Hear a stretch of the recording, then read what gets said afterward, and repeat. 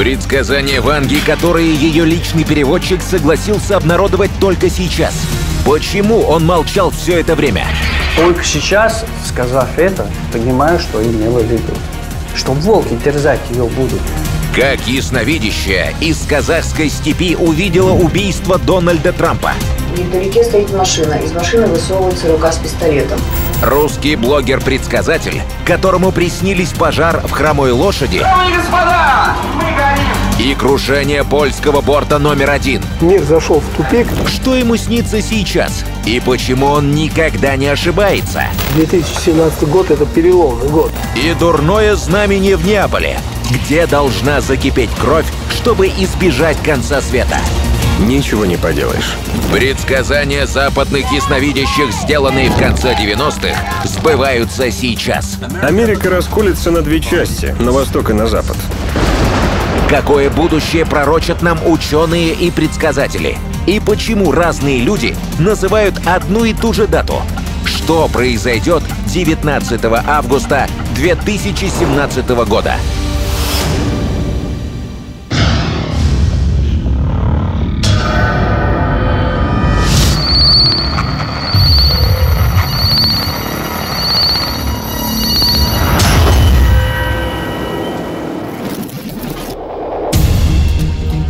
Сенсация. Британская разведка призналась в убийстве Григория Распутина. Какое пророчество он не должен был донести до государя? И что за будущее Распутин предрекал России? Они поменяли, изменили ход истории на следующее поколение фактически, убив Распутина. Пугающие предсказания о Третьей мировой. Точно так же мы видим столько же признаков надвигающейся войны. Ясно, что война будет. Кто ударит первым? После того, как будет принято решение о нанесении ответного или ответно-встречного удара, Внимание, начнет получить приказ боевой режим. мероприятия ну, займут от силы там 7-9 минут. Раскол великой державы. Его пророчили ясновидящие. Его прогнозируют ученые. Какую страну ожидает черная полоса? Целых три католических тайны на один маленький португальский городок. В этом месте появилась Богородица. Что Ватикан знал, но не говорил о России 40 лет. Он выдвигал какие-то требования. Да, опубликовать третью тайну Фатимы. И что Запад упрямо не хочет признавать до сих пор. Какие катастрофы прошлого снова напомнят о себе в этом году? Мировые события, которые мы наблюдаем, они также повторяют себя через каждые 60 лет. Это нужно знать.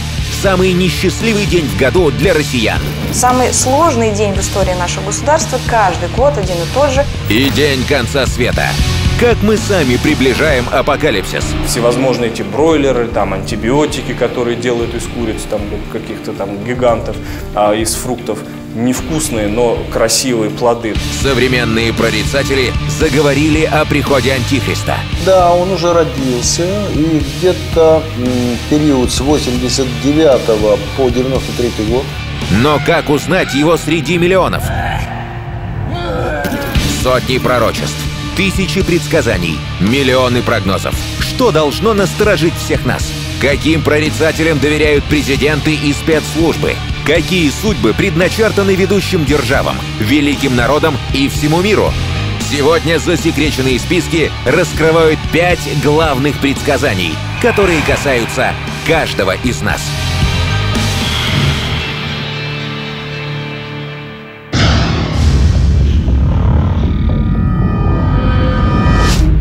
16 декабря 2016 Италия, Неаполь.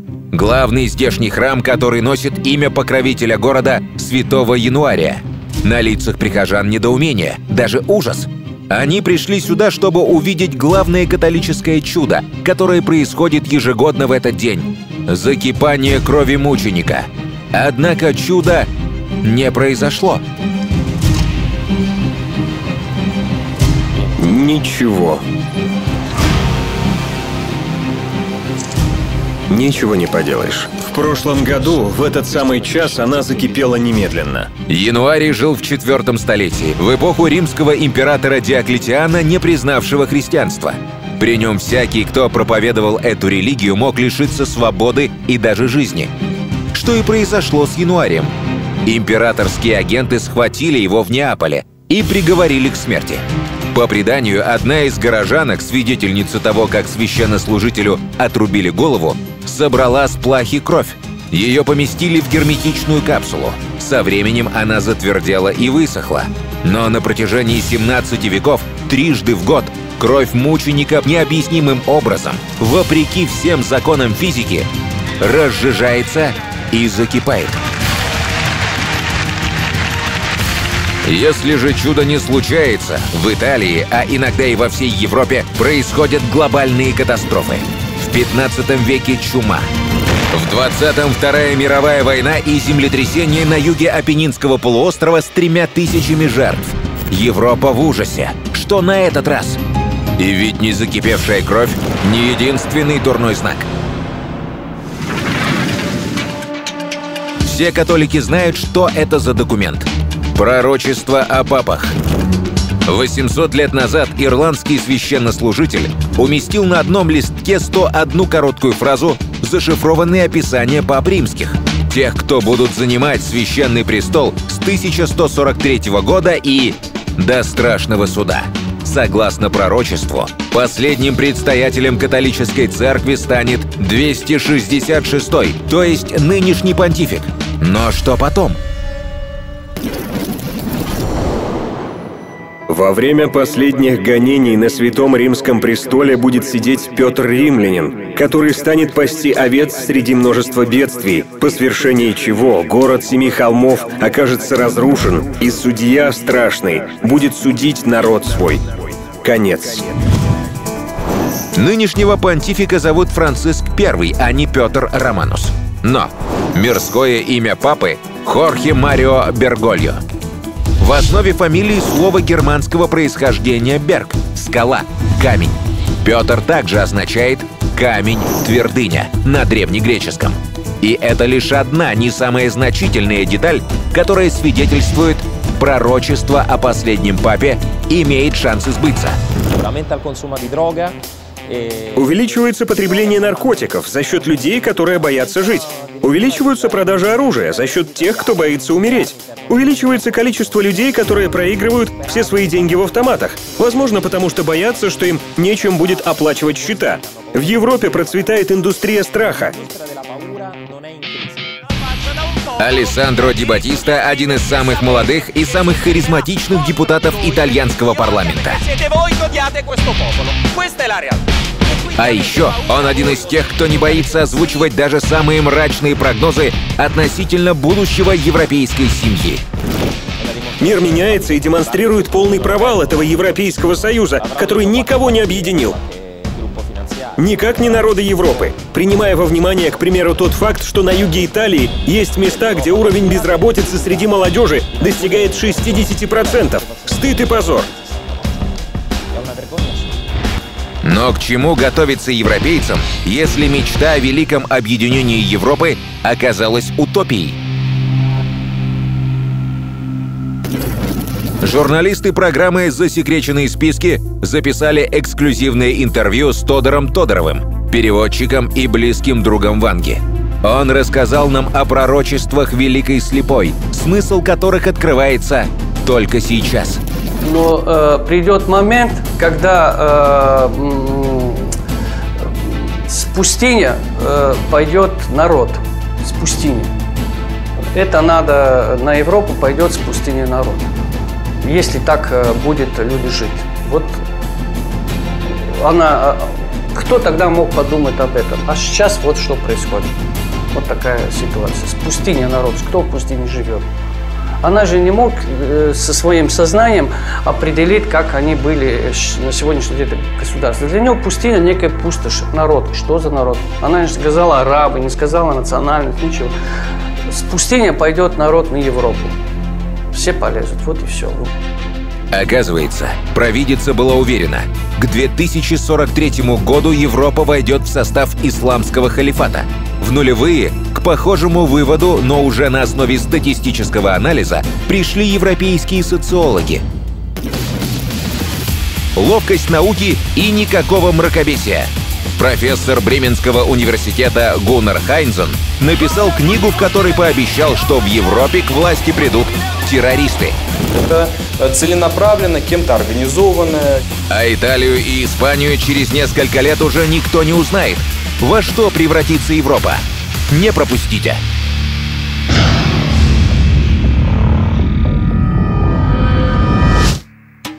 Профессора Бременского университета Гуннера Хайнзена называют основателем нового направления в науке об обществе «Демография войны». В 2003-м вышла в свет его книга. В ней он предрек и обосновал грядущее вторжение в Европу беженцев из Африки и Ближнего Востока и претензии исламистских террористов на мировое господство. Он же сегодня утверждает, совсем скоро мусульмане станут европейским большинством. Европейцы не рожают, а мусульмане еще как. Хахиль – беженец из Сирии. Слима – его первая жена. Ранзиям – вторая. Многоженство в ЕС пока запрещено. Но это не мешает арабским мужчинам брать в жены по 3-4 женщины. Правда, без регистрации брака, по закону шариата. То есть, с точки зрения мусульманского права, женщины рожают детей в браке, но с точки зрения европейского законодательства, они матери-одиночки, которым полагается пособие. Европейцы кипят от возмущения. Получается, их налогами оплачивается замещение коренного населения мигрантами. Но кипят они молча. Разве что выкладывают в сеть вот такие ужасы своего городка и подписывают их так. Сцены апокалипсиса. Но больше всего простых европейцев пугают не беспорядок в местах компактного проживания их новых соседей. Эти кадры всколыхнули весь мир. Редакция сатирического журнала «Шарли Эбдо» расстреляна фанатиками. Наш собеседник, парижский таксист Мухаммед, знает их с детства. Он рос с будущими террористами по соседству. Я видел, как эти парни становились радикалами. Они сильно изменились. Настолько, что пришли к тому, чтобы делать вещи, подобные случившимся в том январе. Саид и Шариф Куаши родились и выросли в столице Франции, говорили по-французски без акцента, прекрасно ориентировались в городе. Что же заставило их возненавидеть соотечественников? Кто заставил, поправляет Мухаммед, и показывает вот это фото. Фарид Биньету. Один из десятков проповедников, которые призывают новых европейцев к джихаду. А с помощью религии легко делать разные вещи. Ему удалось сделать из умеренного шерифа экстремала, поскольку молодые, они очень, очень и очень податливы. И рецепт, как уберечь свой новый дом Европу от этих бедствий, у Мухаммеда нет. Про себя он говорит, что его хорошо воспитал отец, привил ему истинное понимание ислама как религии мира. Но давайте зададимся вопросом, много ли отцов находят время и слова, чтобы по душам поговорить с детьми о самом важном? Я уверен, что это было спровоцировано, что это, э, как, как говорится, это такой э, искусственный, синтетический вообще продукт. То есть это не то, что там какая-то миграция, переселение народов, что, условно говоря, там потоп да, где-то или наводнение, и вот все там собрали э, баулы и, и пошли. Нет, это целенаправленно, кем-то организованное, это миллионы и миллионы беженцев. Спродюсированное переселение народов происходит совсем недалеко от западных российских границ. Следовательно, любые катаклизмы Старого Света способны ударить и по нам, гораздо быстрее, чем те, что происходят за океаном. Наша страна является частью Европы. Означает ли это, что мрачный прогноз монаха из 14 века и математические расчеты профессора социологии из 21 касаются и России?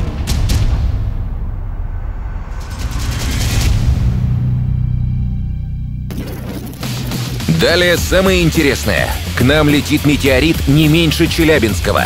Что будет с планетой Земля, расскажет блогер-предсказатель Артем Драгунов. Что имела в виду Ванга, когда говорила о волках, терзающих Россию? Российские спецслужбы да, поскольку сотрудничаем и точно все это прекрасно знаем. Какой день в году самый несчастливый для нашей страны? Каждый год один и тот же. И точная дата конца света. Она совпала у древней предсказательницы и современного нумеролога. Что ждет нас, россиян, смотрите в засекреченных списках.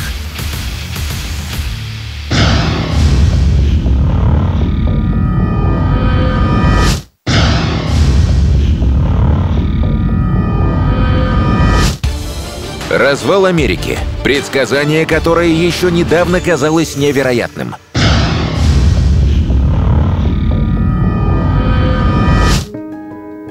Именно о нем монах Раньо Нера писал в XIV веке.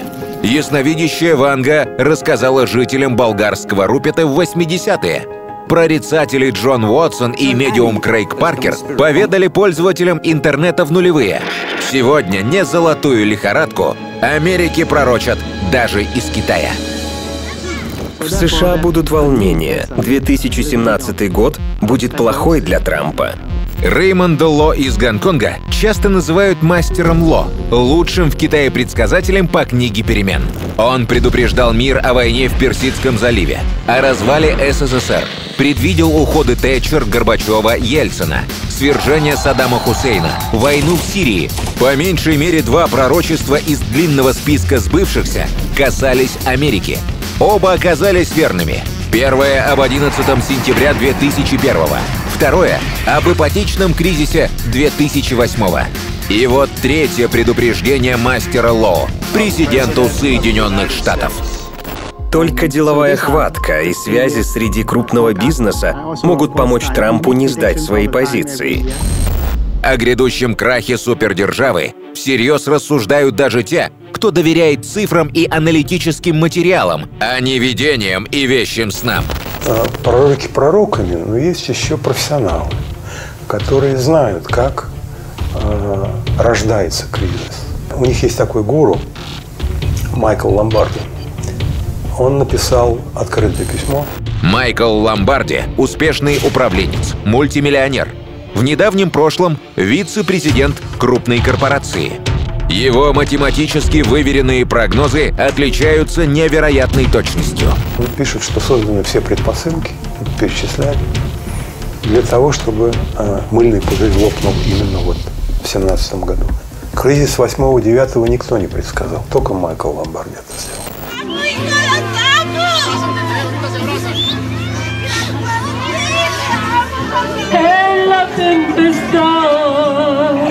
Душераздирающее кино о жестокости новой американской власти. В синем – мексиканцы, нелегально живущие в Штатах. В белом – их родные, оставшиеся дома. В роли доброго ангела организация Hugs Not Walls, в переводе «Обнимашки вместо стен», которая в конце января провернула показательную акцию. Открытие американо-мексиканской границы – правда всего на 3 минуты. И, возможно, это подчеркивается особо в последний раз.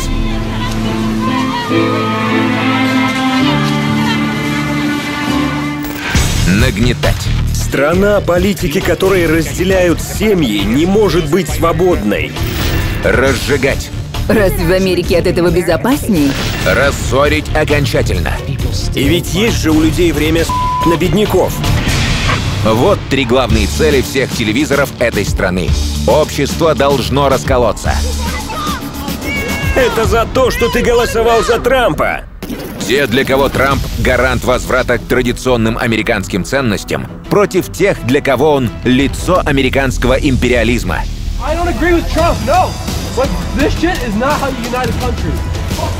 Мэтт Ахрин из Айовы – герой сторонников нового президента. В одиночку отбил национальный флаг у десятка его противников. Парни собирались сжечь звездно-полосатые стяги, демонстрируя презрение к методам, которыми Трамп собирается делать Америку снова великой.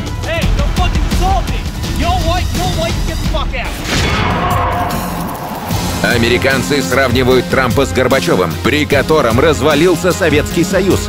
Приход обоих к власти предсказали знаменитые прорицательницы. Советскому Союзу Михаила Меченова обещала Великая Ванга. А человека, похожего на Трампа, еще полтора года назад прочила в новые президенты Америки Вера Леон, знаменитая ясновидящая из Казахстана. На родине ее считают реинкарнацией Великой Слепой.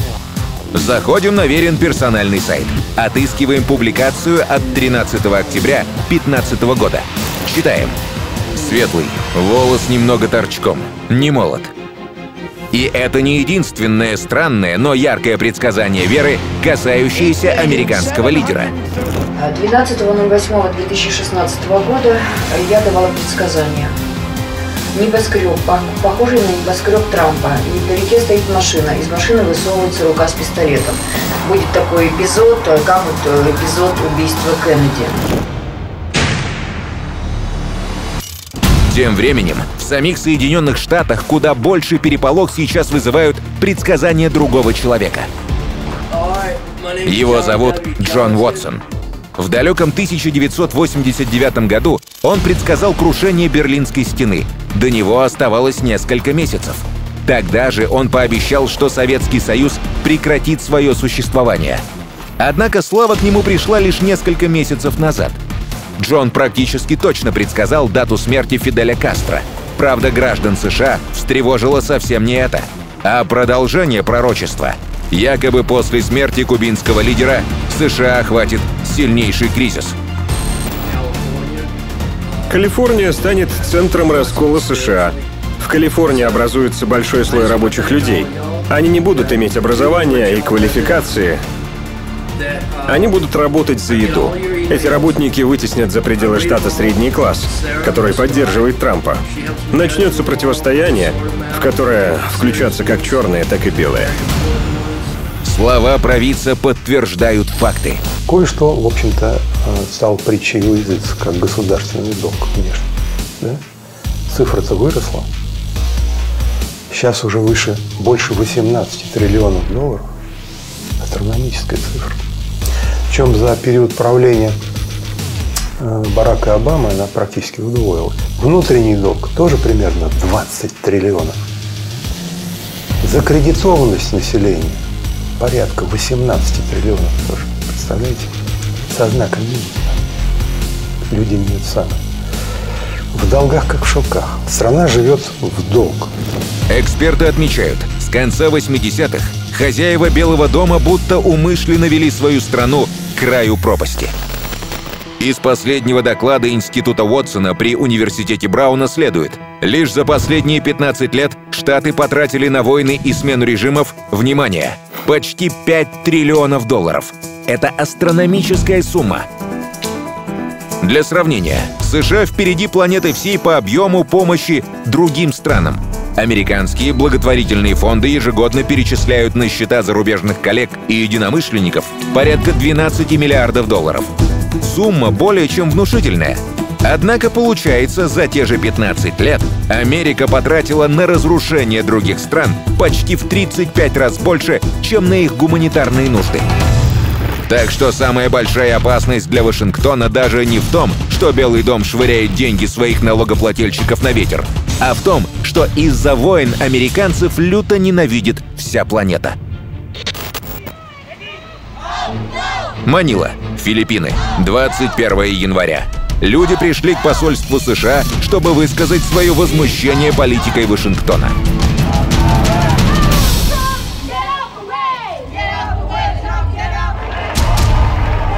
Тысячи иранцев вышли на улицы в конце 2016-го, в 20-ю годовщину похищения американских дипломатов из посольства в Тегеране.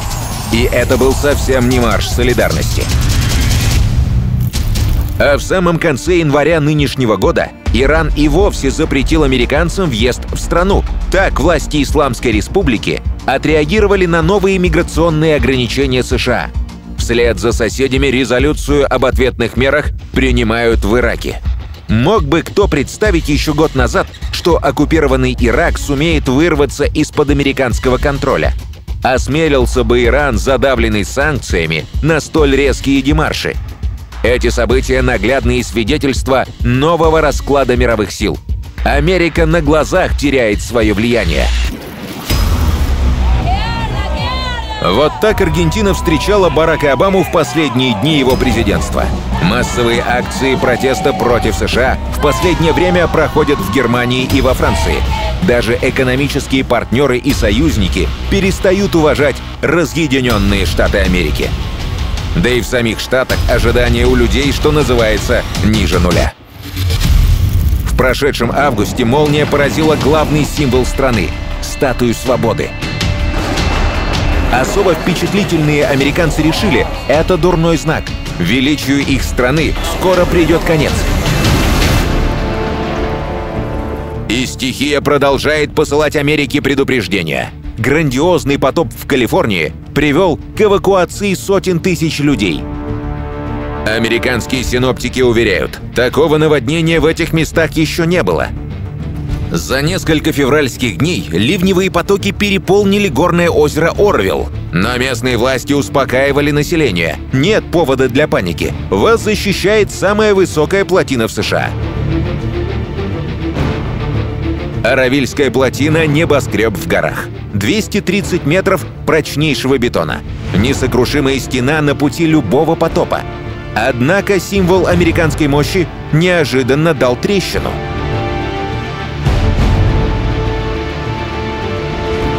На глазах у онемевших от ужаса американцев плотина начала рушиться. Вода устремилась в долину, сметая все на своем пути. Для эвакуации населения властям пришлось задействовать все доступные силы. Более 200 тысяч человек спешно покинули свои дома. Однако даже Национальная гвардия не может обеспечить порядок и безопасность. Дороги в Калифорнии забиты автомобилями беженцев. В оставленных городах процветает мародерство. А попытки остановить разрушение плотины ни к чему не привели. Бреши в стене попытались закидать камнями с вертолетов. Но эксперты сравнили это с тушением пожара из детской лейки. И речь идет не о природном катаклизме, появление которого нельзя предугадать.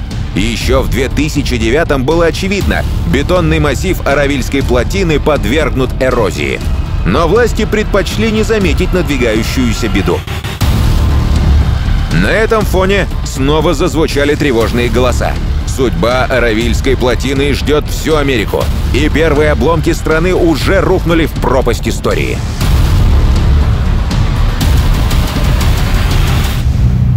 А это знаменитый медиум, психолог и телеведущий Крейг Хэмилтон Паркер.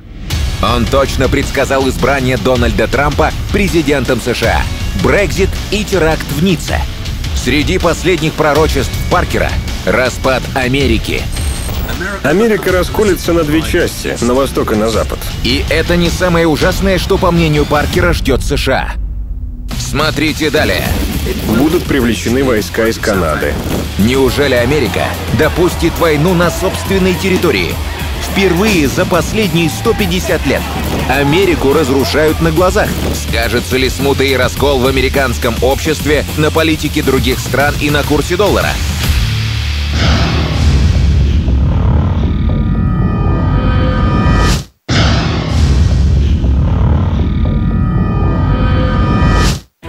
Медиум Крейг Хэмилтон Паркер — человек, чьего слова в Америке боятся все. Он предсказал США президента Трампа, а Европе Брекзит и теракт в Ницце. И вот теперь Паркер снова всех напугал. Медиум пророчит раскол Америки на восток и запад. Люди будут испытывать социальные проблемы, усилятся и протесты в США, в частности из-за результатов выборов и борьбы с ограничениями в правах ношения оружия. Чтобы снизить напряженность, будут привлечены войска из Канады. США ожидает засуха. Паркер утверждает, что из-за результатов выборов пройдут бунты и даже бои. Для подавления беспорядков будут призваны нейтральные войска из Канады. И это пророчество сбывается. Сотни тысяч американцев выходят на манифестации, и, похоже, раскол нации уже никого особо не заботит. Самые знаменитые и влиятельные американцы даже не пытаются образумить соотечественников. Напротив, они лишь подливают масло в огонь. Риана – признанная королева поп-музыки. У нее сотни миллионов преданных поклонников по всему миру. Для своих фанатов в Штатах она является большим авторитетом, чем любой политик. И вот что звезда сцены говорит о новом президенте Америки. Отвратительно. Опустошающие новости. Америку разрушают на глазах. Какой же аморальной свиньей нужно быть, чтобы сделать такое? В конце января в Калифорнии начался сбор подписей за выход из состава США. То же самое сейчас происходит в Техасе и еще нескольких американских штатах. Страна трещит по швам. Союзники отворачиваются. На горизонте новый экономический кризис. Даже если сбудется малая часть пророчеств, Штаты, как и обещает их 45-й президент, уже никогда не будут прежними. А это означает, что перемены начнутся во всем мире. Слишком велико влияние Америки. Глобальный кризис сверхдержавы изменит мировой порядок и положит начало цепи необратимых событий, которые затронут всех, не только лидеров, но и обычных граждан. Поэтому предрекаемый крах США в нашем засекреченном списке как предвестник других, еще более масштабных событий. Далее в засекреченных списках. Это коснется каждого. Неизвестные предсказания Ванги в эксклюзивном интервью ее переводчика. Волки терзать ее будут. Пророчество от блогера-прорицателя Артема Драгунова, создателя уникального метода прогнозировать будущее. Вектор он задан, уже все его видят, и просто альтернативы этому вектору нет. Он выводит среднее арифметическое из реальных фактов и вещих снов. И еще ни разу не ошибался.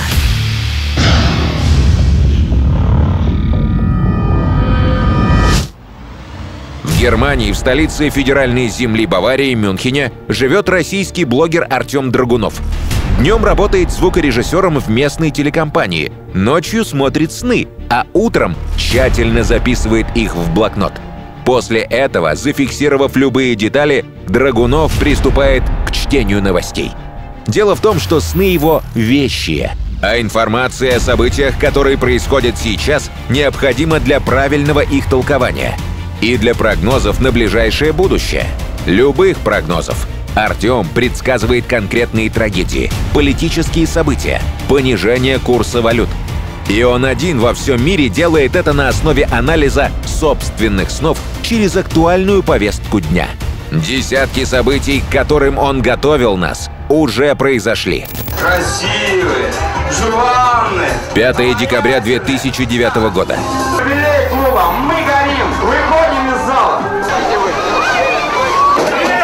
Пожар в клубе «Хромая лошадь» унес 156 жизней. А эту запись Артем Драгунов в своем сетевом дневнике сделал 13 ноября, за три недели до трагедии. Если бы вы видели во сне то, что видел я, нынешний фейерверк в Ульяновске детской шалостью вам показался бы. Большой такой в Перми. 10 апреля 2010 года. Самолет президента Польши потерпел крушение под Смоленском.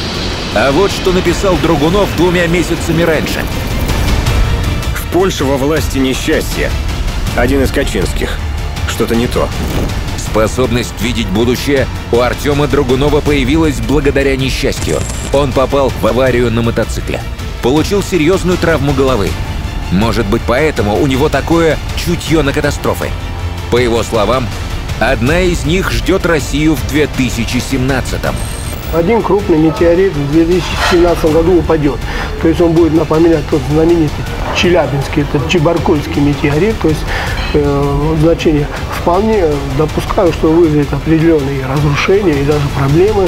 Но он скорее будет более символичным, чем катастрофическим. Напомним, падение метеорита в Челябинске к катастрофическим последствиям также не привело. Зато прославило русскую невозмутимость на весь мир. Метеорит. Заснял материал. Слышишь? Это знаешь, что было? Это, похоже, астероид. Я не знаю, где он упадет, но его будет видно довольно везде. То есть, то, то есть грубо говоря, в нашем мире. То есть это где-то будет над Европой, наверное, или над Россией. Политические прогнозы Артема Драгунова также часто попадают в десятку. К примеру, о появлении Национальной гвардии он сообщил еще в 2011 году. Ровно через пять лет президент подписал соответствующий указ. Сегодня блогер-предсказатель полностью солидарен с пророками прошлого и политологами настоящего, которые утверждают, 2017 будет непростым. Я уже писал неоднократно и в блоге говорил, что 2017 год – это переломный год. И в данный момент могу констатировать, что большинство населения планеты поняло, что 2017 будет переломным годом. Это уже заметно. А если говорить конкретно о России, как Драгунов видит ее роль на мировой арене? Специально для нас предсказатель приоткрыл завесу над грядущим мир зашел в тупик, и надо его из этого тупика как-то вытаскивать было. То есть хорошо это или плохо, но мир меняется. Я не думаю, что Россия будет менять курс и политические развития. То есть э, вектор он задан, уже все его видят, и просто альтернативы этому вектору нет. Мир так развивается. Блогер-предсказатель предрекает родине немало испытаний. Но самое главное, Россия останется собой. Она преодолеет трудности и сплотит вокруг себя десятки государств. Не секрет, что уже сейчас все, что связано с нашей страной, становится все более популярным за рубежом. Группа крови на рукаве, мой мир на рукаве. Узнаете? Так знаменитая группа крови звучит в исполнении корейцев. Русские песни разучивают китайцы, немцы, американцы, даже если им на ухо медведь наступил.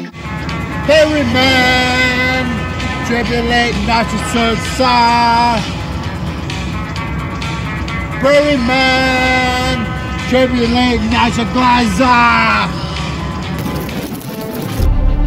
О российском гражданстве мечтают Роберт Де Ниро, Леонардо Ди Каприо, Арнелла Мути, боксер Рой Джонс, актеры Жерар Депардье и Стивен Сигал уже получили паспорта с двуглавым орлом.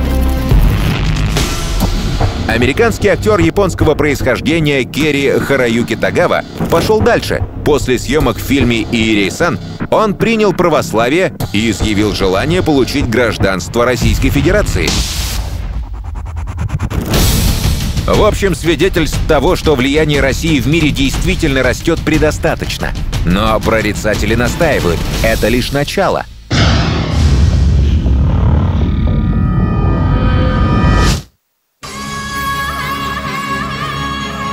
Так сегодня выглядит древний город Балх, близ таджикско-афганской границы. Его красотой восторгался Александр Македонский. И в этом городе появился на свет великий пророк Заратустра. Это «Авеста» — главная книга зарастрийцев, написанная золотыми чернилами на 12 тысячах воловьих шкур. Это грандиозный комплекс зданий на берегу Сены Национальная библиотека Франции.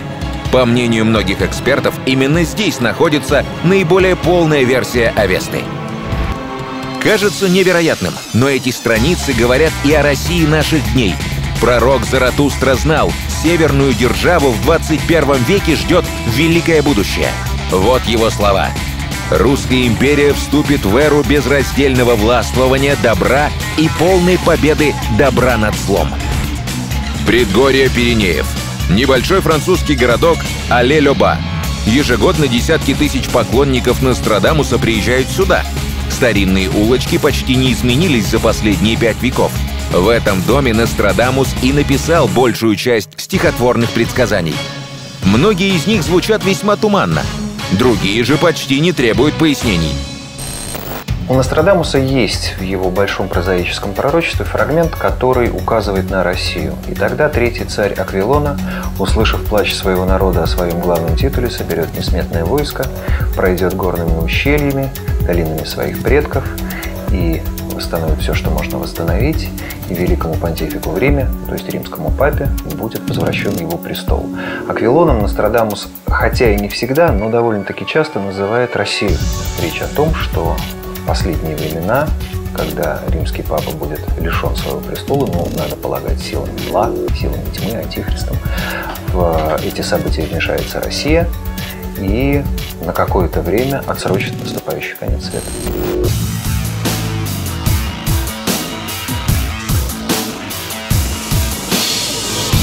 Россия должна принести людям всех наций умиротворение и коренным образом преобразить глобальные ценности и нравы. Как это произойдет? Эту великую тайну нам тоже открыл человек, долгие годы работавший у самой Ванги. По словам переводчика Ванги Тодора Тодорова, была с ее пророчествами одна сложность. Провидица никогда не предупреждала о них заранее. Не было такого, как сказать, э, специально сидит там, думает, вот я сейчас вижу там. Нет, это такие вещи, они э, в разговоре идут, а потом проходит время и начинаешь понимать, боже мой, как же, она же все это сказала. После смерти Ванги Тодоров часто жалеет о том, что в свое время не придал значения многим важным пророчествам. Понимаете, мне 33 года было. Я же не придавал значения всех вот этих э, моментов. Они, они сегодня имеют, наверное, политического смысла, но они для меня были такого разговорного жанра. И я не придавал, кто бы мог подумать в Советском Союзе, что такое может случиться. Это, ну, представьте себе, ну, ну, невозможно было. Однако в последние годы Тодор Тодоров разбирает свой архив, что собрался за годы работы с Вангой, анализирует и дополняет его. Важные слова он вспомнил прямо перед съемками этого интервью.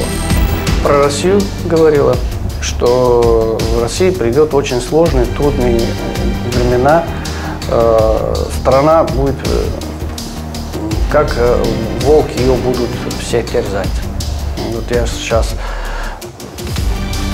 только сейчас, сказав это, понимаю, что имела в виду. Что волки терзать ее будут. Далее только в засекреченных списках. Откровение переводчика Ванги. Слова, которые она говорила о России, Тодоров начинает понимать только сейчас. Пытаются сею на колени, но Россия встанет. Тайны британской разведки. Из-за чего убили Распутина и о чем великий старец хотел нас предупредить. После рекламы. Не пропустите.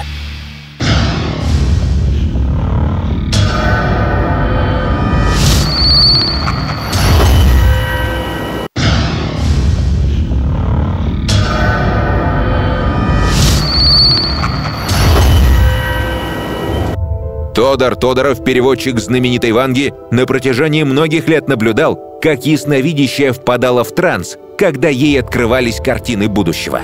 Ванга говорила, что Россию будет терзать стая волков. Возможно, Великая Слепая видела, в какой непростой ситуации окажется Россия.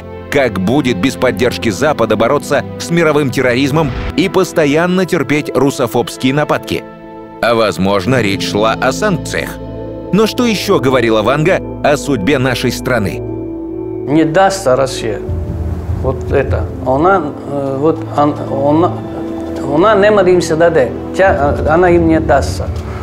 Пытаются сею на колени, но Россия встанет.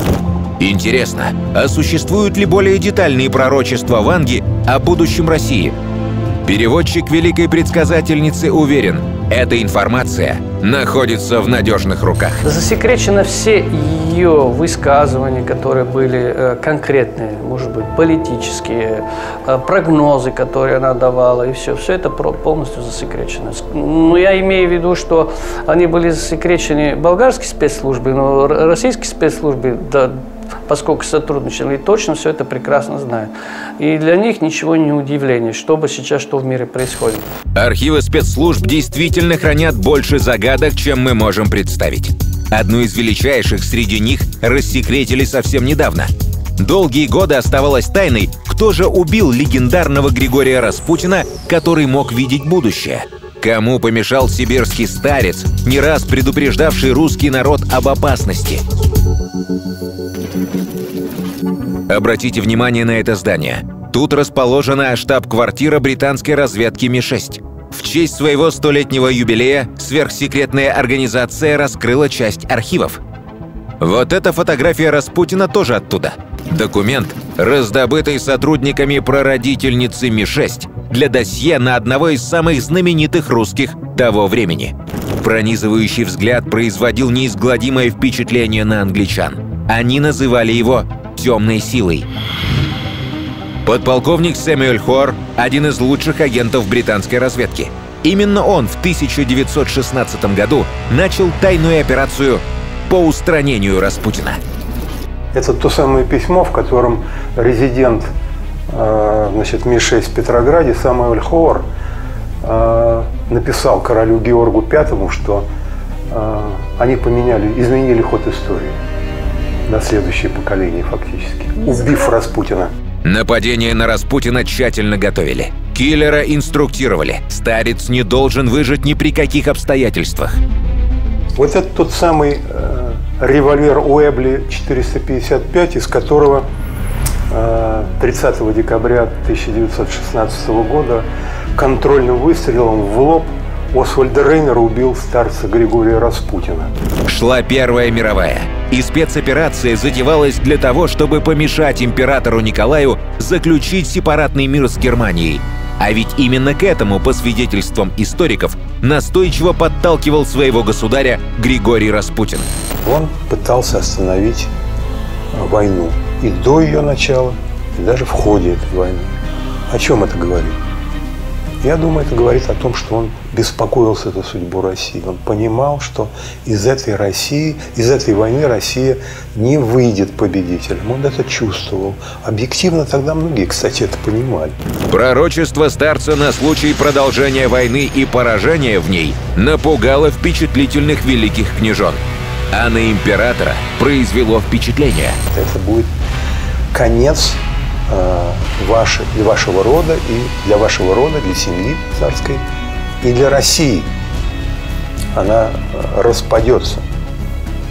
Вот такой прогноз у него был. Вот. И второй, который он тоже, по-моему, неустанно повторял, Александр Федоровне, пока я с вами,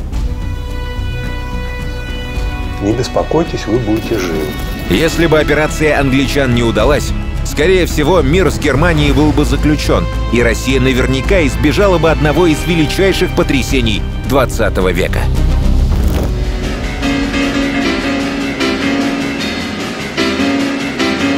Однако Распутин видел и далекое будущее России. Он утверждал, при любом раскладе нашу страну ожидает невероятный рост в первой половине 21 века.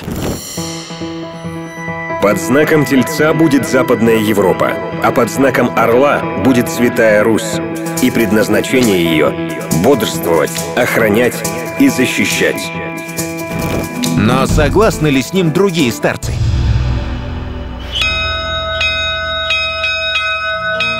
Легендарный Афон – гора и полуостров в греческой Македонии на севере Восточной Греции.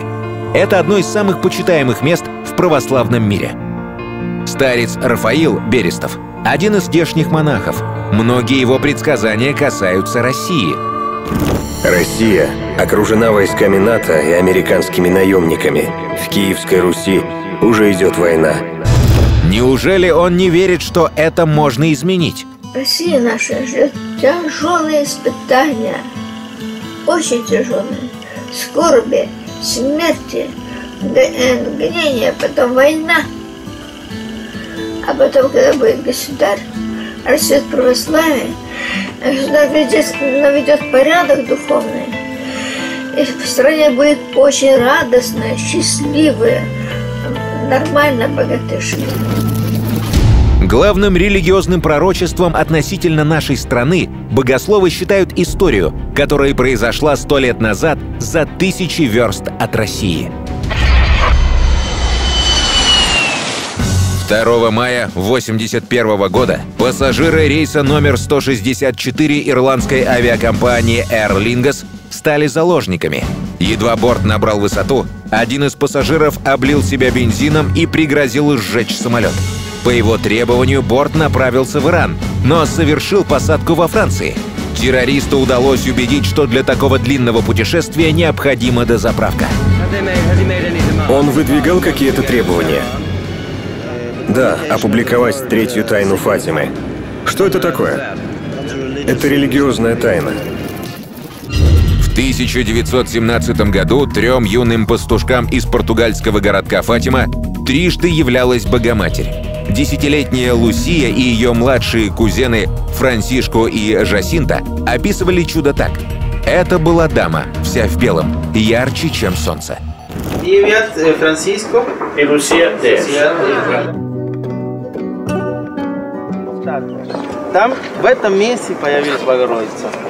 э, дерева того времени уже нет, потому что снимали все паломники, снимали чуть кусочка и все, ничего не осталось.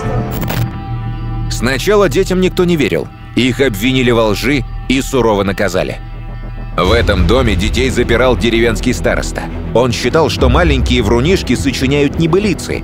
Но вскоре староста изменил свое мнение, потому что Богородица снова явилась в Фатиму. И на сей раз ее увидели уже две тысячи человек, почти все население. После этого народная молва разнесла весть о чуде по всей стране и за ее пределами. И свидетелями третьего явления Девы Марии стали более 70 тысяч человек. И они, они здесь собрались каждый, каждый вечер молиться.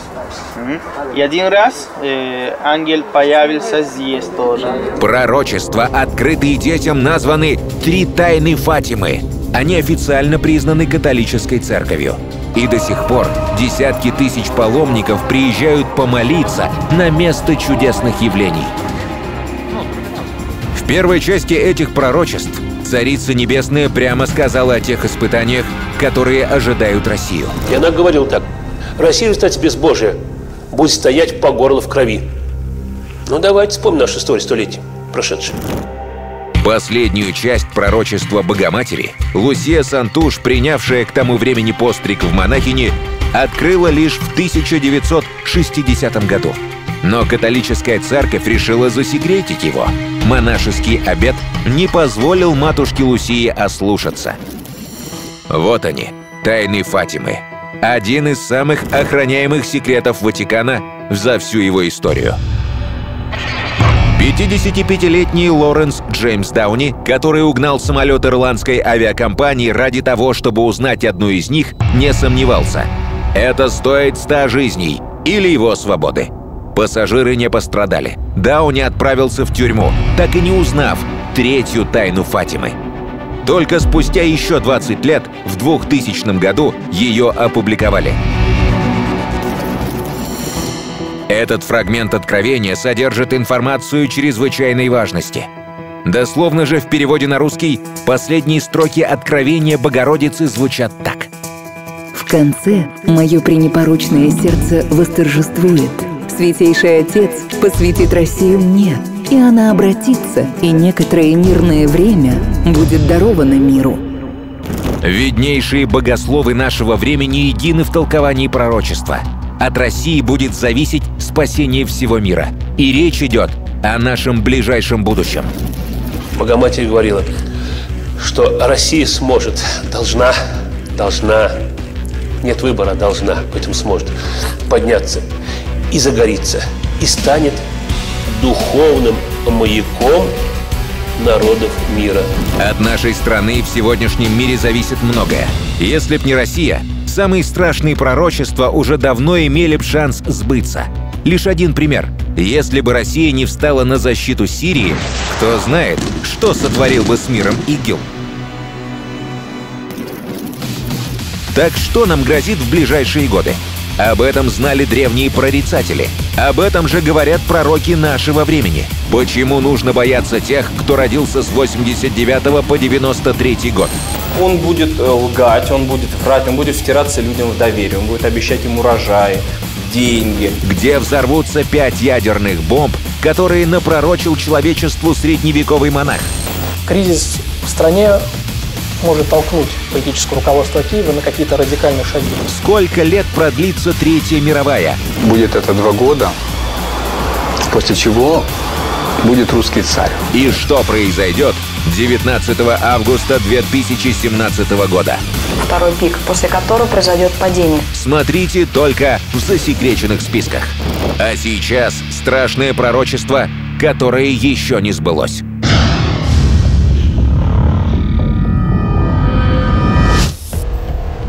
Летом 1987 года по Киеву прокатился слух.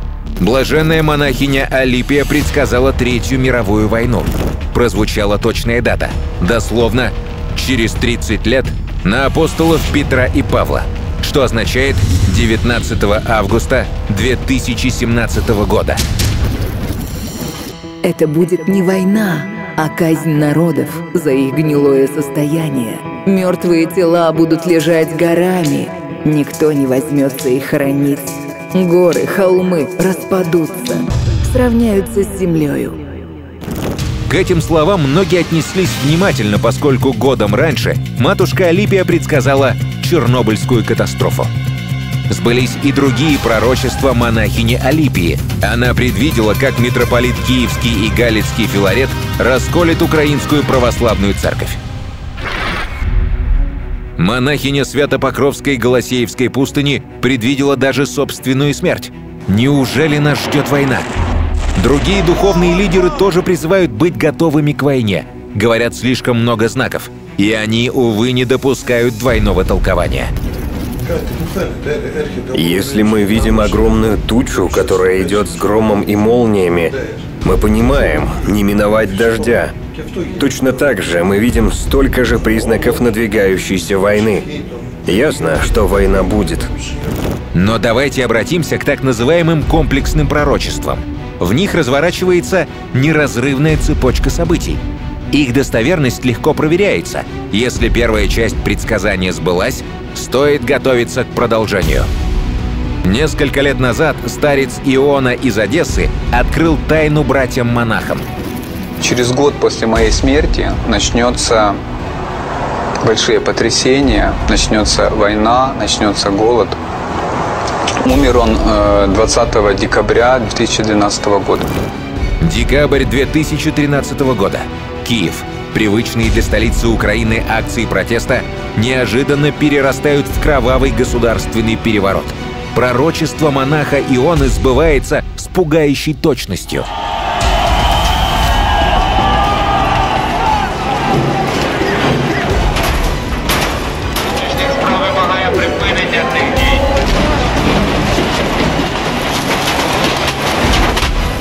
Старец предвидел не только начало украинской трагедии, но и знал, как долго она продлится. Продлится это два года, он сказал. 14 по, по 16.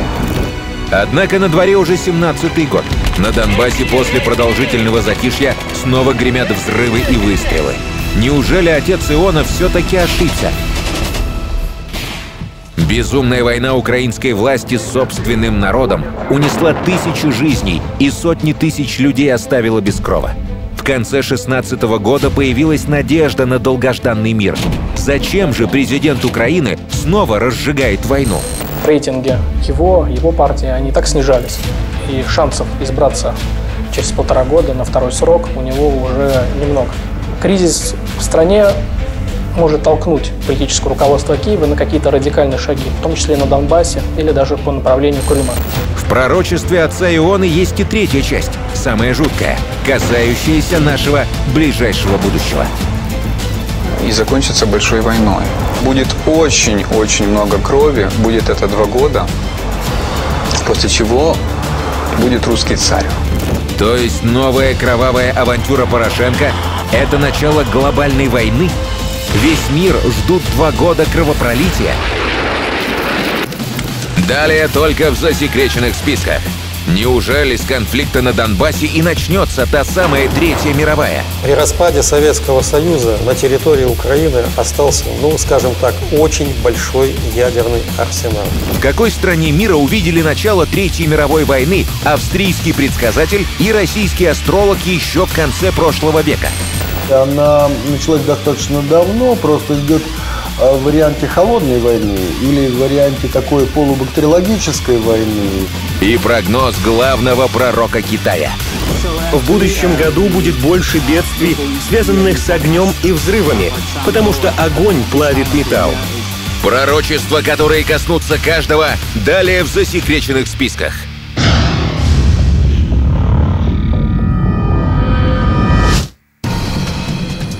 Старец Иона из Одессы увидел кровавый государственный переворот на Украине.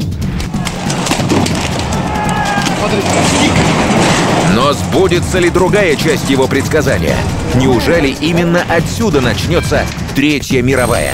Ну, нельзя говорить об Украине как о субъекте, который может вести войну против России. Все-таки очень разный военный э, потенциалу стран.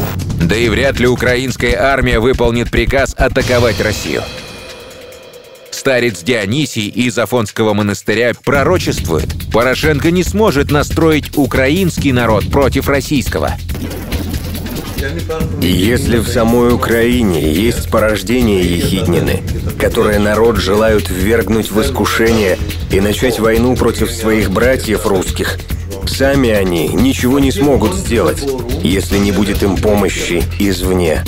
Так каким же образом Украина способна спровоцировать предсказанную двухлетнюю большую войну? При распаде Советского Союза на территории Украины остался, ну, скажем так, очень большой ядерный арсенал. Но все это было в соответствии с достигнутыми договоренностями вывезено с территории Украины. Все-таки количество ядерных стран ограничено, и ведущие страны ядерного клуба, в общем-то, пристально следят за тем, чтобы не появлялись а, новые ядерные державы. Однако насколько эффективен международный контроль? В сфере нелегального оборота оружия Украина в числе мировых лидеров. И ряд международных скандалов приоткрыли лишь верхушку айсберга оружейного трафика из Незалежной. Грузовое судно «Фаина» было захвачено осенью 2008 года сомалийскими пиратами. На борту «Ролкера» находились более 30 танков, зенитные установки и гранатометы. Этот груз предназначался для Южного Судана, вопреки строжайшим запретам ООН. Администрация президента Ющенко клятвенно заверила ООН, что танки не попадут в зону конфликта. Но через некоторое время организация Amnesty International зафиксировала эти самые танки в Южном Судане. Получается, что майданная власть обвела вокруг пальца инспекторов ООН. А сможет ли она втихаря создать оружие массового поражения?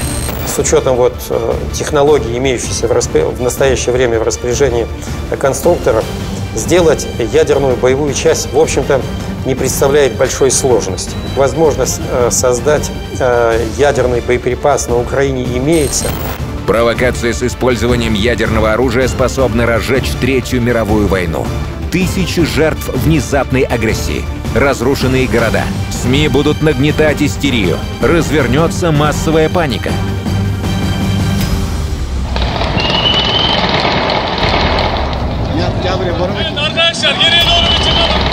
Как в таких условиях России доказать свою непричастность? Надежда только на железные нервы верховных главнокомандующих. Да, в 1962 году Хрущев и Кеннеди смогли остановиться в шаге от Третьей мировой войны. Но второй раз может и не повести. А если по России будет нанесен массированный ядерный удар, у нашей страны не останется выбора. Внимание, начнет получить приказ боевой режим.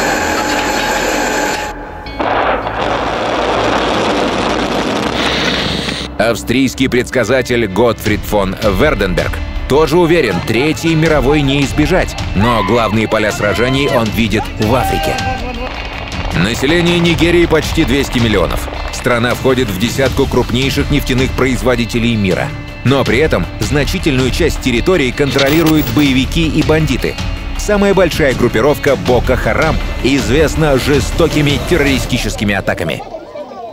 Единый некогда Судан разделился на северный и южный. Именно туда команда Ющенко продавала тяжелое вооружение. Правительство Украины несет ответственность за разжигание войны в Африке. И там до сих пор идут бои. А это многострадальная столица Сомали Магадиша. Процветающий город на берегу Индийского океана превращен в руины, и выстрелы продолжают греметь на его улицах. В десятках других африканских стран тлеют многочисленные конфликты. Черный континент может вспыхнуть в любое мгновение. Многие скажут, где Россия и где Африка. Но наши военно-морские силы уже присутствуют в этом регионе и борются с нападениями пиратов.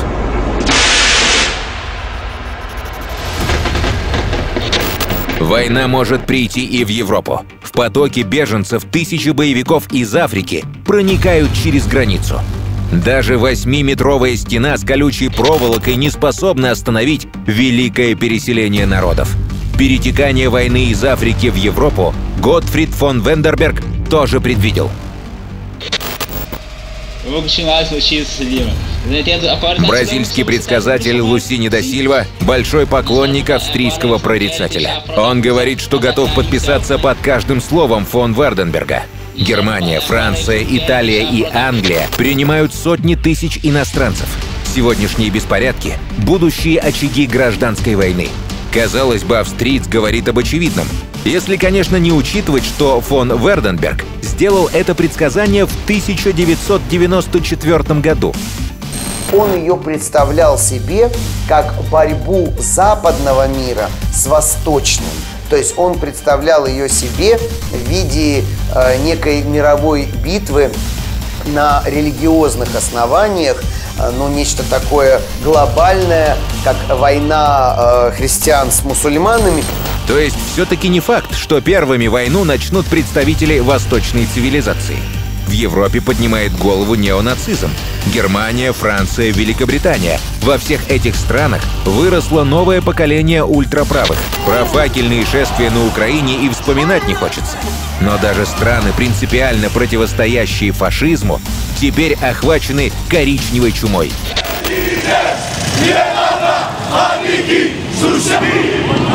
Это факельное шествие устроила ультраправая партия «Золотая заря» в Афинах. Греки недовольны наплывом мигрантов. Националисты набирают силу.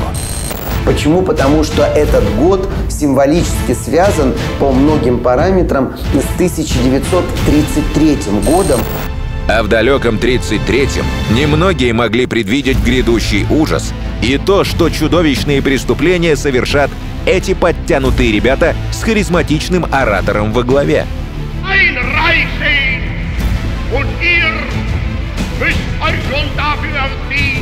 Многие толкователи считали, что приход Гитлера предсказал знаменитый монах Фредерико Мартелли по прозвищу Раньенера — «Черный паук». Здесь, в кафедральном соборе Флоренции, смиренный францисканец просил Господа явить ему откровение, и Раньенера увидел пугающие картины будущего. В середине Европы образуется страшный кровавый вихрь. Он, как паук, полезет на три стороны — на запад, на юг и на восток. Однако пророчество черного паука может относиться и к нашим дням. Ведь бесноватые фюреры продолжают рваться к власти, не щадя никого на своем пути. Так называемое исламское государство ничуть не уступает Третьему рейху в фанатичности и жестокости глава исламского государства Абу Бакр аль-Багдади. Пока он только халиф, но кто знает, если эта организация восторжествует, кем он станет потом. А так как этот человек уже аккумулировал вокруг себя тысячи и тысячи приспешников, да, которые думают, что они делают богоугодные дела, э, то это действительно сила. При этом Аль-Багдади и его союзники понимают, им не будет прощения за совершенные преступления. Они словно крысы, загнанные в угол. Что касается э, вооруженных формирований радикального типа, э, к примеру, Джабхата Нустры, как бы она ни называлась, формирований ИГИЛ, то вооруженная борьба с ними будет, несомненно, продолжена. Поскольку никаких переговоров с этой частью, скажем так, вооруженной оппозиции, быть не может. Россия в настоящее время постоянно присутствует в этом неспокойном регионе и наша армия уже подвергалась провокации. Многие эксперты тогда были уверены, мир на пороге большой войны. Но российское руководство проявило выдержку и не стало рубить с плеча. Это позволило избежать глобального конфликта. Но вскоре случилась другая трагедия. Нападение на посла по нормам международного права равносильно нападению на страну. И снова Россия не поддалась на провокацию. Наш эксперт из Гонконга предупреждает, в текущем году подобные нападения могут участиться. Я спрогнозировал, что в будущем году будет больше бедствий, связанных с огнем, потому что огонь плавит металл. А также будут конфликты с применением оружия, убийства с применением оружия. Например, российский посол был убит в Стамбуле, то есть такого рода террористические действия будут происходить чаще. Что же получается? Великие державы так и будут испытывать друг друга на прочность и подталкивать к войне. Ведь обстановка на Ближнем Востоке и без того накалена до предела. Несколько стран, как под предлогом значит, э, некого принесения какой-то демократии, ввергнуты в состояние гражданской войны. Это событие практически происходит в тех самых библейских местах, о которых, и, о которых собственно, и упоминает, почти там о которых упоминает этот э, Иоанн Богослов, ну, допустим, там Анти, Антиохия э, в Сирии, я имею в виду, да, и вообще вот это, вот это средизем, средиземноморское побережье Африки и Азии, оно э, является, вообще-то, одной из колыбелей цивилизации. В Ливии, Ираке, Афганистане, Йемене и Сирии ведутся постоянные боевые действия. А может ли большая война вспыхнуть в других странах, расположенных по соседству? А возникновение конфликтов э, на Ближнем и Среднем Востоке, а также между Индией и Пакистаном, в общем-то, остаются достаточно э, вероятными событиями. Вообще вот весь этот регион, Ближний, Средний Восток, Афганистан, э, Индия и Пакистан, в общем-то, достаточно взрывоопасны. А если еще вспомнить про Израиль, у которого непростые, мягко говоря, отношения со всеми упомянутыми державами.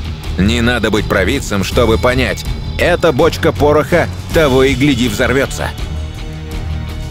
К этому еще следует добавить и достаточно э, нестабильную обстановку э, в Центральноазиатском стратегическом районе. Это имеются в виду бывшие советские республики. Конфликты между ними имеют такой латентный характер – и всегда возможен, всегда возможен переход к вооруженному противостоянию. Одно из наиболее точных предсказаний о Третьей мировой связано с именем Ванги. Она предвидела кровавую бойню. Ясновидящая предсказала гражданскую войну в Сирии и точно знала, в каком году начнется кровопролитие. В 2011 -м. Но самое интересное, провидица считала, что перед самим вооруженным столкновением несколько лет будет вестись холодная война. Она идет, Третья мировая, что ее предсказывает? Война-то идет сейчас. Только она по-другому, другими матери... Э, другой форме, не танками, не пистолетами, оружием. Она же информационная война, она химическая война. Мировые события, которые мы наблюдаем, они также повторяют себя через каждые 60 лет. Например, Вторая мировая война началась с атаки на Пёрл-Харбор в 1941 году, а ровно через 60 лет, в 2001 году, в Америке случилась террористическая атака 11 сентября, а после 11 сентября весь мир стал бороться с терроризмом. Это на самом деле Третья мировая война, потому что Америка атаковала Ирак, атаковала Афганистан, и весь мир в это вовлечен. По словам Ванги, Сирия падет. И как только это произойдет, начнется Третья мировая. Будет трудное время. Люди разделятся из-за веры. Сирия рухнет, а победитель окажется не тот. Ванга была уверена, в этой войне Россия единственная будет бороться за справедливость во всем мире. Не стоит забывать и о традиционном вероятном противнике России – Североатлантическом альянсе. И если Третью мировую начнет именно НАТО, у нее будет самый кровопролитный исход. Старец Рафаил поделился пророчеством. Он его услышал от легендарного афонского монаха. Но мне сказал старец Иосиф Водопенский. Он мне сказал, что будет война. Давно готовят НАТО, играют, проигрывают в компьютере, войну против Азии и побеждают. Неужели страны НАТО готовятся нанести удар России в спину? Каким образом они могут это сделать? Если ядерное оружие будет размещено, вот, например, как, как э, во времена Советского Союза непосредственно э, у границ нашей территории, вот как в случае с баллистическими ракетами средней дальности, то вот это время обнаружения старта и время на принятие решения э, существенно снижается. И поэтому вот в свое время, значит, размещение э, ракет класса Першинг-2 вызвало такую озабоченность у советского военно-политического руководства. Если так, то решительные возражения России против строительства системы ПРО в Европе абсолютно понятны. Это не паранойя Кремля. Именно так ноты протеста наших дипломатов называют западные СМИ. Это стремление защитить своих граждан. Ответ на удар по агрессорам будет нанесен без промедления. После того, как будет принято решение о нанесении ответного или ответно-встречного удара, разблокирование боевых частей, все необходимые мероприятия, ну, займут от силы там 7-9 минут. Это так, называемый э, срок вот, оперативного применения. Вот примерно так выглядит э, э, процедура на применение стратегических ядерных сил. Последствия атомных бомбардировок весь мир увидел в 1945 году в Японии. Флорентинец Раньенера предсказывал и эти страшные события. Он писал еще в XIV веке. Два страшных ядовитых гриба поднимутся над двумя городами. Всего таких грибов будет семь. Если верить этому пророчеству, Хиросима и Нагасаки — это лишь два гриба. Еще пять висят домокловым мечом над человечеством. Японские города были стерты с лица земли относительно маломощными бомбами, а результаты обмена мегатонными ядерными залпами будут куда катастрофичнее. Есть такое сокращение МАД. Да? По-английски это звучит как mad, то есть сумасшествие. А расшифровывается mutually assured destruction. То есть э, взаимно гарантированное уничтожение. Возникает так называемая ядерная зима, потому что закрывается озонный слой, и все, температурный режим на планете меняется, у нас, извините, ледниковый период. Люди вымрут, но тараканы хорошо выживают при ядерном ударе и излучении. Они очень живучие. Многие видные мыслители и выдающиеся люди 20 века говорили, Третью мировую войну никто не выиграет. Получается, что единственный способ стать победителем — уберечь мир от глобального конфликта. И, наконец, настало время главного пророчества.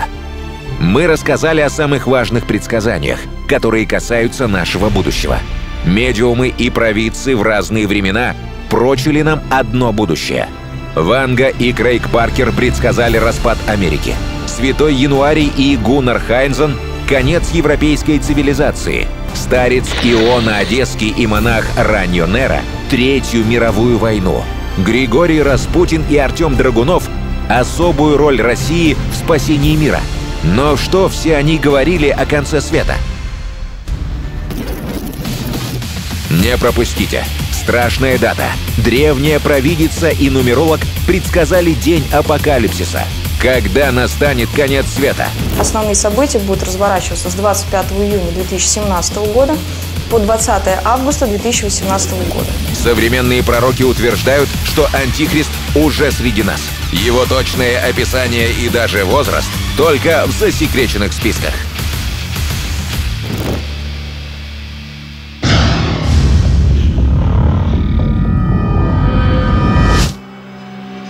Конца света на Земле ожидают с начала времен. Разные народы предлагают свои версии этого события. Единство в одном – конец всему сущему на Земле неминуем. Тревожные признаки приближающегося апокалипсиса увидели итальянцы. Еще в 16 веке прорицатель Матео Тафури предупреждал «Бойтесь снега в Саленто». Здесь, на набойке каблука итальянского сапога, снег видели только в морозильных камерах. И вот в начале января 2017-го Салента заваливает снегом. Потрясенные южане на протяжении недели дважды видят снегопад. А ведь магистр Тафури предвещал, именно два раза подряд выпавший снег в Салента означает близость конца света. Еще одним вестником апокалипсиса Матео Тафури назвал небесное свечение. И вот, пожалуйста, 9 января молодая пара снимает в небе Салента странный объект. О боже! О боже! Прорицатель ничего не писал о форме вещих огней. Но впечатлительных очевидцев убеждать не нужно. Это то самое апокалиптическое свечение. Странные оптические метаморфозы привлекли внимание прессы. Сенсация разнеслась по планете. Больше всех испугались, кстати, не итальянцы, а англичане. Островитяне торжественно возвещают, пророчество итальянского Нострадамуса сбывается. Конец света в дюйме от нашего носа, сэры. Мы так и знали, что этим все и закончится. Тем временем к погодным явлениям прибавляются и деяния рук человеческих. 1 июня 2016 года состоялось долгожданное открытие Готардского тоннеля в Швейцарии. Готардский тоннель в самом центре Европы. Он открывает швейцарскую периферию всему миру. Сам тоннель — торжество инженерной мысли. Почти 60 километров под Альпами. Электронное управление, продуманные системы безопасности. Но его открытие до крайности напугало тысячи простых швейцарцев. Театрализованное представление начинает самый натуральный марш зомби. Парад чудовищ торжественно открыт. Дальше больше. Фантазии постановщика позавидуют многие мастера фильмов ужасов. И кульминация шоу соответствует всем классическим канонам жанра. Кого напоминает этот персонаж, пляшущий на фоне пламени? Именно он — явный объект поклонения монстров. Высокобюджетная и красочная церемония открытия тоннеля выглядит как сатанинский ритуал.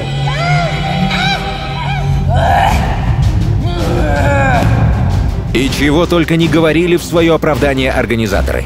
Якобы таковы традиционные швейцарские представления о прекрасном. Если мы обратимся к Нагорной проповеди, Иисус говорит, ведь э, хромать это совсем не грех. Да? Вот грех не понимать, что ты там хромаешь. Вот грех не понимать, что ты совершаешь грех.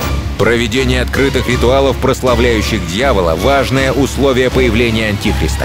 И некоторые эксперты полагают, что он уже среди нас. Если мы говорим про э, приход нового антихриста, да, он уже родился, и где-то люди, рожденные м, период с 89 по 93 год, они зацепили вот это соединение Сатурна с Нептуном. Когда они войдут в творческий период, им будет от 36 до 42 лет. А вот эти вот люди, они поднимут очень много революций.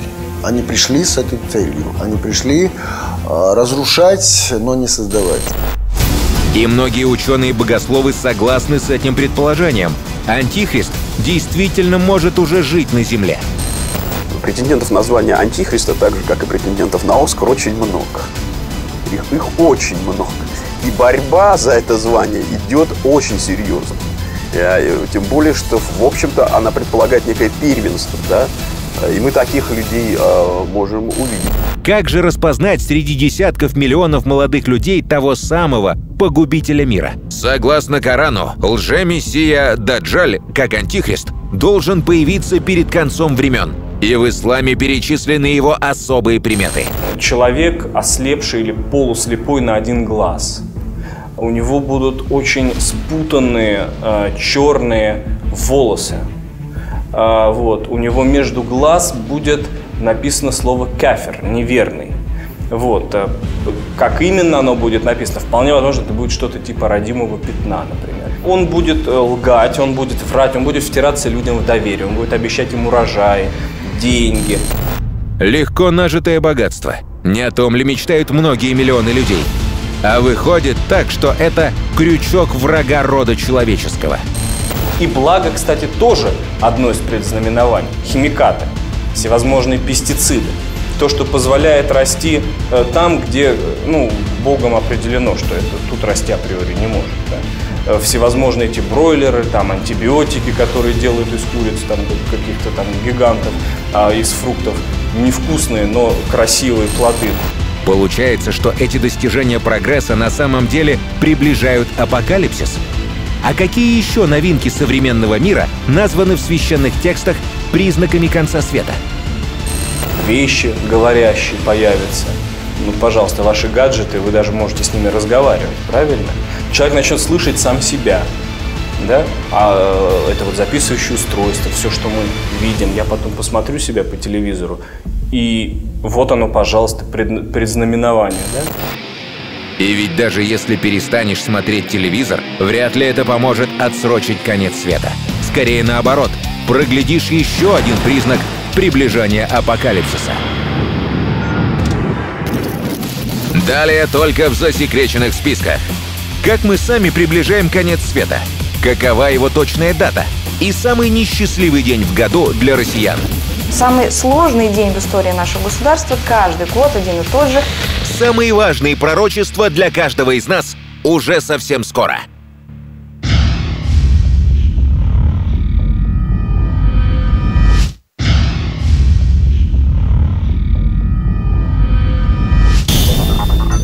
Не такими видели киборгов создатели культовой фантастики. Тем не менее, вот он, еще один вестник конца света. Живая плоть, соединенная с неживой, но разумной. Молодой москвич вшил себе в руку проездной. Пополнять баланс неудобно, выглядит неэстетично. К тому же священники предупреждают, чипизация приближает апокалипсис. И подобные признаки конца света окружают нас со всех сторон. Взять вот, к примеру, идентификационный номер налогоплательщика, всем знакомый ИНН. Это новшество объявляли признаком апокалипсиса. Сбывается пророчество или нет, это смотря как его толковать. Церковь полагает, что само по себе использование ИНН еще не конец света. Придет антихрист. Это будет человек, который будет утверждать, что он Бог. И вот теперь люди или признают его за Бога, или не признают. Ну, люди что, мы все похожи. Как отличить, кто признал, кто Вот тогда понадобится некий знак, чтобы кто признал, тому печатку. Теперь ясно. Без добровольного согласия человека служить антихристу нумерация безвредна. Мы знаем, что была волна, когда отказывались от советских паспортов. И мы знаем, что наши все советские старцы, все были с паспортами. И были старцами. Но стоит ли серьезно относиться к тому, что было написано 2000 лет назад?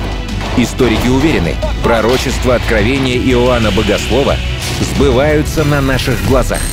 Говорит о том, что третий ангел пришел и, значит, бросает звезду, и эта звезда полынь падает, значит, на землю, и третий источник вод бывает отравлена. Но когда в 1986 году произошла Чернобыльская катастрофа, а мы знаем, что Чернобыль в переводе на русский язык обозначает полынь, вот, и мы понимаем, что да, действительно, значит, э, та радиация, которая попала в Днепр, через Днепр в Черное море, через Черное море, значит, в Средиземное, через Средиземное уже в Мировой океан она попала. Действительно, оказывается, апокалипсис – это очень жизненная книга, что действительно уже в наши дни совершается вот это, значит, э, вот эти страшные казни. Воспетый писателями, поэтами и шансонье Париж, левый берег Сены, площадь Фонтенуа, штаб-квартира ЮНЕСКО. Именно здесь в конце уходящего года было принято непростое решение. Международное сообщество призвало Израиль предоставить мусульманам доступ к храмовой горе в Иерусалиме. Вот одно из главных сакральных мест на планете – знаменитая Стена Плача, остатки древнего храма Соломона – Этим камням почти две с половиной тысячи лет. Главная святыня иудаизма. А это мечеть купола над скалой. Она воздвигнута на месте храма Соломона, разрушенного римлянами. И миллионы мусульман мечтают оказаться здесь. Иерусалим, в котором, они говорят, Мухаммед поднимался на небо. И над этим местом трон Аллаха, где он видел вечный нестворенный Коран. Так говорят мусульмане. Поэтому для них совершенно особое место. В Израиле резолюцию ЮНЕСКО встретили с возмущением. Страна даже приостановила сотрудничество с этой организацией. Иудеи целых две тысячи лет мечтают восстановить свой храм. Но согласно ряду пророчеств, это событие станет началом конца света. Сами же иудеи убеждены, это все нелепые домыслы. А третий храм откроет эпоху мудрости и процветания – Такие вот диаметрально противоположные прочтения одного предсказания. Израильтяне хотят осуществить проект, не откладывая его в долгий ящик. Вот трехмерная модель нового храма. Величественное должно получиться здание. Пиршество классицизма. Торжественной атмосфере апокалиптических событий вполне соответствует. А вот и метки на онлайн-картах. Храмовая гора. Третий храм. Да, проект еще не утвержден, но в серьезности намерений строителей сомневаться не приходится. Страсти вокруг третьего храма кипят нешуточные. Но что поделаешь на Святой Земле? Здесь, куда ни ступи, обязательно с реликвией столкнешься. Или пророчество услышишь. Когда Израиль, по слову Господа и по слову пророков, рассеянный по всему миру, будет собран опять на земле, обещанной Аврааму в Палестине. И мы с вами видим, во многих христианских текстах воссоздание государства Израиль трактуется как признак приближения конца света. Правда, скоро Израиль отметит свой 70-летний юбилей. Но следует учитывать, что это лишь предвестие апокалипсиса, а не его непременные условия. Как ни крути, а Ближнему Востоку апокалиптические пророчества ничего хорошего не обещают. Даже последняя битва добра и зла должна состояться именно здесь. Основная битва этих катастрофических событий, она произойдет в Армагеддоне. Ну, Армагеддон – это вообще-то в переводе с э, древнееврейского означает холм хол, э, холм Мегидо, да, город на холме Мегидо. Есть действительно такой город. Это был город, по сути, на дороге из Египта в нынешний Иран, в Вавилонию и в другие очень большие государства. А в мусульманской версии конца света огонь поглотит всю Аравию. Даджал, он появится где-то там между Сирией и Ираком, то, собственно говоря, э, да, вот этот огонь, он где-то вот в районе Йемена, там, где Аден, вот появится огонь, он будет гнать э, людей. Во времена пророка воспламенить всю Аравию и впрямь могли лишь сверхъестественные явления. Мощь же современного оружия такова, что поджечь обширные нефтяные поля не составит труда.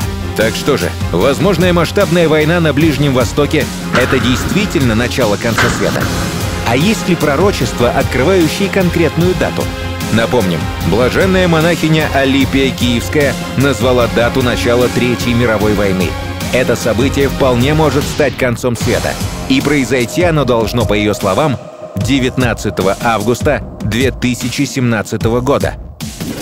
Удивительным образом мистическое откровение совпадает с подсчетами нумерологов. Джули По — одна из лучших знатоков этой сложной науки. Она впервые делится с широкой аудиторией сенсационной информацией. 20 августа 2018 года, по нашим расчетам, как раз и начнется Третья мировая война. Разница с пророчеством матушки Алипии – один день и один год. Столь близких совпадений конкретных дат пророчеств конца света в истории не бывало. Но дальше еще интереснее. Продолжим знакомиться с предсказаниями Джули По. Самый сложный день в истории нашего государства каждый год один и тот же. Это 20 августа каждый год. И основные события будут разворачиваться с 25 июня 2017 года по 20 августа 2018 года. Получается, что 17-й год в пророчестве Алипии Киевской все же верная дата. Однако не подгоняет ли Джули По свои данные под известное пророчество? Нет, мастер-нумеролог не скрывает методику своих расчетов. Есть такая технология в нумерологии, называется на квадрат Пифагора, пифагорейская школа. Так вот, в нижней строке 3-4 число 17, 8. 17, 17 августа 1998 года, а я напоминаю, что это первый пик, который прошла наша страна, и есть дефолт в России. Да, именно тогда в России возникло поверье. В августе жди беды. Второе падение нашей страны произошло 7 августа 2008 года. Как вы видите, это тоже второй пик, после которого произойдет падение. Ну и, соответственно, 20 августа 2018 года это последний пик. Проверка одного пророчества другим пройдена. Что же нам делать? Приводить в порядок дела? Срочно бросаться замаливать грехи? Постараться провести оставшиеся месяцы с семьей? Ответ стоит поискать в истории – Тысячу лет назад вся Европа каялась и плакала. Миллионы людей всем сердцем верили в близость неминуемого конца света. Многие церковные иерархи с нетерпением ждали рубежа первого и второго тысячелетия. Тысячный год от Рождества Христова должен был стать последним годом жизни на Земле. Смыслом апокалипсиса является страшный суд э, Господа, который э, всем раздаст по заслугам, да? Были вы праведником, вели вы себя честно, вы будете оценены по заслугам. А если вы врали, а если вы совершенно как-то вот э, ужасно себя вели, тогда, конечно, вам следует опасаться апокалипсиса. Убежденность в этом христианских проповедников была непоколебима. Многие язычники склонились перед их неукротимой верой. Существует версия, что именно в страхе перед концом света Русь и Дания приняли крещение в последние годы X века – Конец света тогда не случился, а Россия и Дания не так давно отметили тысячелетие своего крещения. Пожалуй, оно и к лучшему, ведь обычаи наших предков до принятия христианства не отличались особой кротостью и человеколюбием. Что официальная церковь думает о близости конца света? Почему пророчества об апокалипсисе, сделанные в разные времена, так поразительно совпадают – Сегодня. Только в засекреченных списках.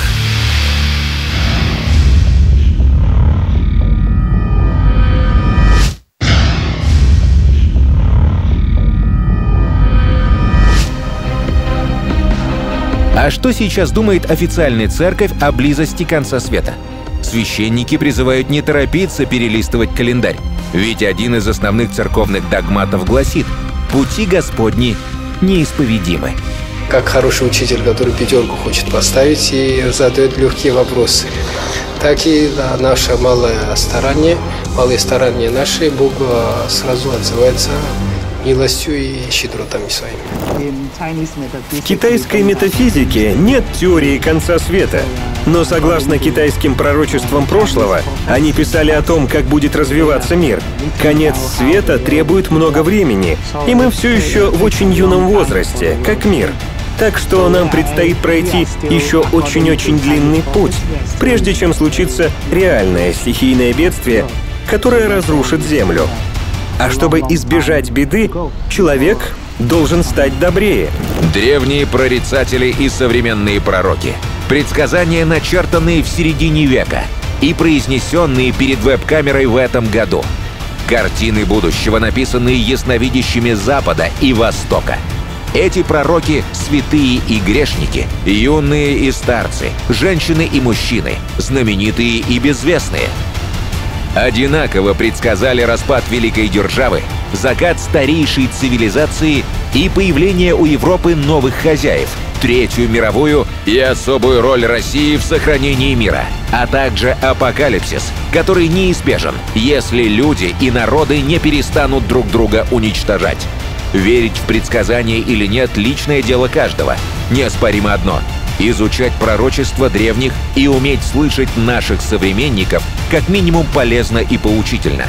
Хотя бы потому, что мысли о будущем помогают нам лучше понимать настоящее.